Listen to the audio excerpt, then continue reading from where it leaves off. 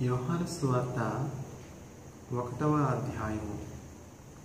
ఆదియందు వాక్యముండెను వాక్యము దేవుని యొద్ద ఉండెను వాక్యము దేవుడై ఉండెను. ఆయన ఆదియందు దేవుని యొద్ద ఉండెను సమస్తమును ఆయన మూలముగా కలిగెను. కలిగి ఉన్నదేది ఆయన లేకుండా కలుగలేదు. ఆయనలో జీవము ఉండెను ఆ జీవము మనుషులకు వెలుగై ఉండెను. ఆ వెలుగు చీకటిలో ప్రకాశించుచున్నది కానీ చీకటి దాని గ్రహింపకుండెను.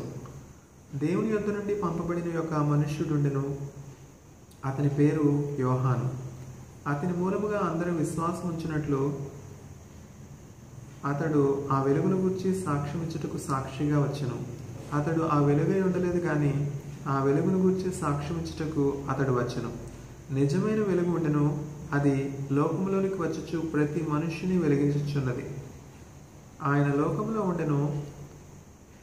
లోకం ఆయన మూలముగా కలిగిన గాని లోకం ఆయనను తెలుసుకొనలేదు. ఆయన తన స్వకీయుల యొద్దకు వచ్చెను. ఆయన స్వకీయులు ఆయనను అంగీకరింపలేదు. తను ఎందరు అంగీకరించరో వారికందరికీ అనగా తన నామందు విశ్వాసముంచు వారికి దేవుని పిల్లలగుటకు ఆయన అధికారం అనుగ్రహించను.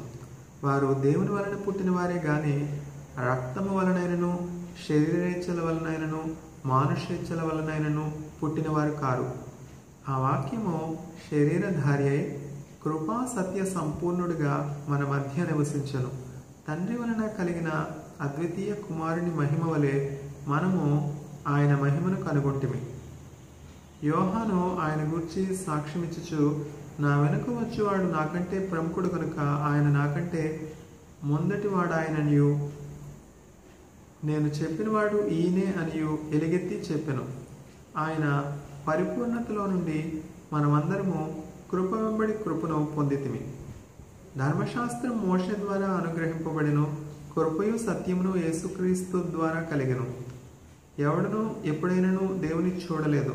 తండ్రి రొమ్మునున్న అద్వితీయ కుమారుడే ఆయనను బయలుపరిచెను. నీవెవడమని అడుగుటకు యూదులు ఎరుషులేము నుండి యాజకులను లేవీయులను యోహానునద్దకు పంపినప్పుడు అతడిచ్చిన సాక్ష్యం ఇదే. అతడు ఎరుగననక ఒప్పుకొనెను. క్రీస్తును కానని ఒప్పుకొనెను. కాగా వారు మరి నీవెవరవు? నీవు ఏలియావా? అని అడుగగా అతడు కాననెను. నీవు ఆ ప్రవక్తవా? అని అడుగగా కానని ఉత్తరమిచ్చను. కాబట్టి వారు నీవెవరవు? మమ్మ పంపిన వారికి మేము ఉత్తరం ఇవ్వరను కనుక నిన్ను గూర్చి నీవేమి చెప్పుకొనుచున్నావని అతన్ని అడిగిరి. అందుకతడు ప్రవక్త అయిన యషియా చెప్పినట్టు నేను ప్రభుత్వ త్రోవ సరళం చేయడి అని అరణ్యంలో ఎలుగెత్తి చెప్పొక ఒకని శబ్దము అని చెప్పాను. పంపబడిన వారు పరిచయులకు చెందినవారు. వారు నీవు క్రీస్తు అయినను ఏలియావైనను ఆ ప్రవక్తమైనను కాని ఏడల ఎందుకు బ్యాప్తిజం ఇచ్చుచున్నావని అతను అడుగుగా యోహాను నేను నీళ్ళలో బ్యాప్తిజం ఇచ్చుచున్నాను కానీ నా వెనుక వచ్చుచున్నవాడు మీ మధ్య ఉన్నాడు. మీరు ఆయన నెరుగురు. ఆయన చెప్పుల వారిని ఇప్పటికైనాను నేను యోగ్యుడను కానని వారితో చెప్పాను. యోహాను బ్యాప్తిజం ఇచ్చిన యోర్ధాను నదికి ఆవలనున్న బేతనీలో ఈ సంగతులు జరిగను. మరునాడు యోహాను యేసు తన యొద్దకు రాగా చూచి ఇదిగో లోకపాపమును మోసుకునిపోవు దేవుని గొర్రెపిల్ల. నా వెనుక ఒక మనుష్యుడు వచ్చుచున్నాడు.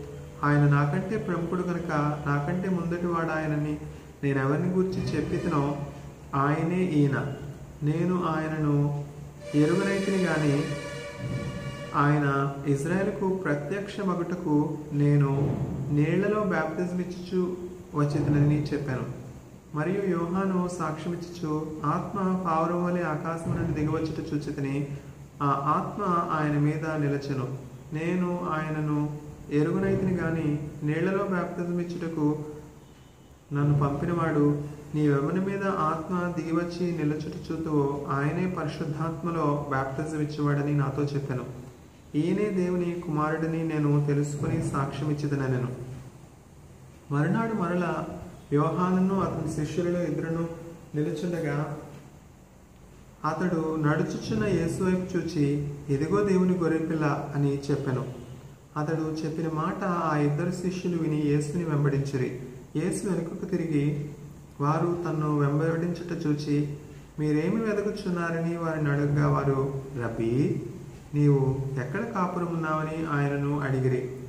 రబ్బీ అను మాటకు బోధకుడు అని అర్థము. వచ్చి చూడుడని ఆయన వారితో చెప్పగా వారు వెళ్ళి ఆయన కాపురమున్న స్థలం చూచి ఆ దినము ఆయన యొద్ద బస చేసిరి. అప్పుడు పగలు రమారమి నాలుగు గంటల వేళ ఆయన.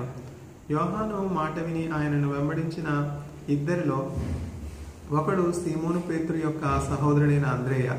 ఇతడు మొదట తన సహోదరుడైన సీమోనుని చూచి మేము మెస్సియాను కనుగొంటిమి అని అతనితో చెప్పి యేసు నొద్దకు అతని తోడుకొని వచ్చను. మెస్సియా అను మాటకు అభిషిక్తుడని అర్థము. యేసు అతని వైపు చూచి నీవు యోహాను కుమారుడు అయిన సీమోనువు నీవు కేఫా అనబడదు అని చెప్పాను. కేఫా అను మాటకు రాయి అని అర్థము. మరునాడు ఆయన గలిలేకు వెళ్ళగోరి ఫిలిప్పును కనుగొని నన్ను వెంబడించమని అతనితో చెప్పాను. ఫిలిప్పు బెత్సైద వాడు. అనగా అంద్రేయ పేతురు అనువారి పట్టణపు కాపరస్తుడు ఫిలిప్పు నతనీయులను కనుగొని ధర్మశాస్త్రములో మోషేయు ప్రవక్తలను ఎవరిని గురించి వ్రాసిరో ఆయనను కనుగొంటిమి. ఆయన యోసేపు కుమారుడైన నజరేయుడికి యేసు అని అతనితో చెప్పెను. అందుకు నతనీయులు నజరేతులో నుండి మంచిదేదైనా రాగలదా అని అతన్ని అడగగా వచ్చి చూడమని పిలుపు అతనితో అనెను. యేసు నతనీయులు తన యొద్దకు వచ్చడు చూచి ఇదిగో ఇతడు నిజముగా ఇజ్రాయేలీయుడు. ఇతని ఎందు ఏ కపటమును లేదని అతని గురించి చెప్పాను. నన్ను నీవు ఎలాగూ ఎరుగుదు అని నతానీయులు ఆయనను అడుగుగా యేసు ఫిలిప్పు నిన్ను పిలవక మునిపే నీవు ఆ అంజూరపు చెట్టు క్రింద ఉన్నప్పుడే నిన్ను చూచితనని అతనితో చెప్పాను. నతనీయులు బోధకుడా నీవు దేవుని కుమారుడు ఇజ్రాయేలు రాజు అని ఆయనకు ఉత్తరమిచ్చాను. అందుకు యేసు ఆ అంజూరు చెట్టు క్రింద నిన్ను చూచితనని నేను చెప్పినందువలన నీవు నమ్ముచున్నావా? వీటికంటే గొప్ప కార్యములు చూతువని అతనితో చెప్పాను. మరియు ఆయన మీరు ఆకాశము తెరవబడటియు దేవుని దుస్తులు మనుష్య కుమారిని పైగా ఎక్కుటియును దిగుటియును చూతురని మీతో నిశ్చయముగా చెప్పుచున్నాను నేను యోహాను సువార్త రెండవ అధ్యాయము. మూడవ దినమున గలిలీలోని కానా అను ఊరిలో ఒక వివాహము జరిగను. యేసు తల్లి అక్కడ ఉండెను. యేసును ఆయన శిష్యులను ఆ వివాహమునకు పిలువబడిరి. ద్రాక్షరసము అయిపోయినప్పుడు యేసు తల్లి వారికి ద్రాక్షారసము లేదని ఆయనతో చెప్పగా యేసు ఆమెతో అమ్మా నాతో నీకేమి పని? నా సమయం ఇంకనూ రాలేదనెను. ఆయన తల్లి పరిచారకులను చూచి ఆయన మీతో చెప్పినది చేయడనెను. యూదుల శుద్ధీకరణాచార ప్రకారము రెండేసి మూడేసి తూములు పట్టు ఆరు రాతి బాణలు అక్కడ ఉంచబడి ఉండెను. యేసు ఆ బాణలు నీళ్ళతో నింపుడని వారితో చెప్పగా వారు వాటిని అంచుల మట్టుకు నింపిరి. అప్పుడు ఆయన వారితో మీరిప్పుడు ముంచి విందు ప్రధాని వద్దకు తీసుకుని పొండని చెప్పగా వారు తీసుకుని పోయిరి. ఆ ద్రాక్షరసం ఎక్కడి నుండి వచ్చినో ఆ నీళ్ళు ముంచి తీసుకుని పోయిన పరిచారకులకే తెలిసినది కానీ విందు ప్రధానికి తెలియకపోయిన గనుక ద్రాక్షారసమైన ఆ నీళ్ళు రుచి చూచినప్పుడు ఆ విందు ప్రధాని పెండ్లి కుమారుని పిలిచి ప్రతివాడును మొదట మంచి ద్రాక్ష రసమును పోసి జనులు మత్తుగా ఉన్నప్పుడు జబ్బు రసం పోయాను. నీవైతే ఇదివరకును మంచి ద్రాక్ష రసము ఉంచుకొని ఉన్నావని అతనితో చెప్పాను. గలీలలోని కానాలో యేసు ఈ మొదటి సూచక క్రియను చేసి తన మహిమను బయలుపరచను. అందువలన ఆయన శిష్యులు ఆయన ఎందు విశ్వాసం ఉంచిరి అటు తర్వాత ఆయనయు ఆయన తల్లియు ఆయన సహోదరులను ఆయన శిష్యులను కపెర్నహోమునకు వెళ్ళి అక్కడ కొన్ని దినములు ఉండిరి. యూదుల పస్కా పండుగ సమీపింపగా యేసు ఎరుషులేమునకు వెళ్ళి దేవాలయంలో ఎడ్లను గొర్రెలను పావురములను అమ్మవారును రోకులు మార్చువారును కూర్చున్నట్టు చూచి త్రాళ్ళతో కొరడాలు చేసి గొర్రెలను ఎడ్లన్నింటినీ దేవాలయంలో నుండి తోలివేసి రోకులు మార్చి వారి రోకులు చల్లివేసి వారి బలలు పడతోసి పావురములు అమ్మవారితో వీటిని ఇక్కడి నుండి తీసుకుని పోండి. నా తండ్రి ఇల్లు వ్యాపారపుటిల్లుగా చేయకూడి అని చెప్పాను. ఆయన శిష్యులు నీ ఇంటిని వచ్చిన ఆసక్తి నన్ను భక్షించినని వ్రాయబడి ఉన్నట్టు జ్ఞాపకం చేసుకునిరి. కాబట్టి యూదులు నీవు ఈ కార్యములు చేయించున్నావే. ఏ సూచక్రియను మాకు చూపెదవని ఆయనను అడుగ్గా యేసు ఈ దేవాలయంలో పడగొట్టుడి మూడు దినములలో దాన్ని లేపుదనని వారితో చెప్పాను. యూదులు ఈ దేవాలయము నలువది ఆరు సంవత్సరములు కట్టిరే నీవు మూడు దినములలో దానిని లేపుదవా అనిరి. అయితే ఆయన తన శరీరమును దేవాలయం గురించి ఈ మాట చెప్పాను. ఆయన మృతుల్లో నుండి లేచిన తర్వాత ఆయన ఈ మాట చెప్పానని ఆయన శిష్యులు జ్ఞాపకం చేసుకుని లేఖనమును ఏసు చెప్పిన మాటను నమ్మిరి. ఆయన పస్కా పండుగ సమయమున ఎరుషులేములో ఉండగా ఆ పండుగలో అనేకులు ఆయన చేసిన సూచక క్రియలను చూచి ఆయన నామందు ఆయన నామందు విశ్వాసించిరి. అయితే యేసు అందరినీ ఎరిగినవాడు గనుక ఆయన తన్ను వారి వశము చేసుకొనలేదు. ఆయన మనుష్యుని ఆంతర్యమును ఎరిగినవాడు. గనుక ఎవడను మనుష్యుని గురించి ఆయనకు సాక్ష్యం ఇయ్యనక్కరలేదు.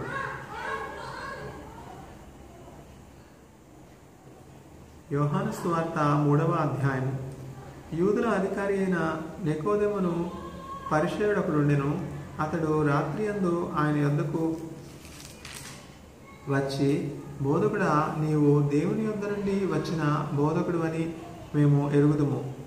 దేవుడు అతనికి తోడై ఉంటేనే గాని నీవు చేయుచున్న సూచక క్రియలను ఎవడనూ చేయలేడని ఆయనతో చెప్పాను. అందుకు యేసు అతనితో ఒకడు క్రొత్తగా జన్మించితేనే గాని అతడు దేవుని రాజ్యమును చూడలేడని నీతో నిశ్చయముగా చెప్పుచున్నాను నేను. అందుకు నీకోదేమో ముసలివాడ అయిన ముసలివాడైన మనుషుడు ఎలాగూ జన్మింపగలడు? రెండవ మారు తల్లి గర్భమందు ప్రవేశించి జన్మింపగలడా అని ఆయనను అడుగుగా యేసు ఇట్లనెను. ఒకడు నీటి మూలముగానో ఆత్మ మూలముగానో జన్మించితేనే గాని దేవుని రాజ్యంలో ప్రవేశించలేడని నీతో నిశ్చయముగా చెప్పుచున్నాను. శరీర మూలముగా జన్మించినది శరీరమును ఆత్మ మూలముగా జన్మించినది ఆత్మయునయున్నది మీరు క్రొత్తగా జన్మింపవలెనని నేను నీతో చెప్పినందుకు ఆశ్చర్యపడవద్దు. గాలి తనకిష్టమైన చోటును విసురును.